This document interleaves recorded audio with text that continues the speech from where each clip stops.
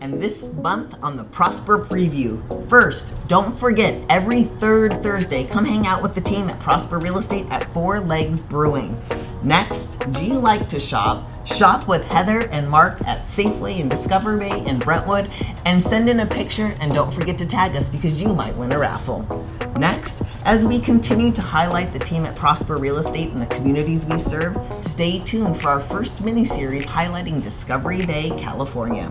Are you a reader? We invite you to stop by the office located at 141 Sand Creek Road in Brentwood, California for Mark's very own book called Selling Secrets You Can't Afford to Miss.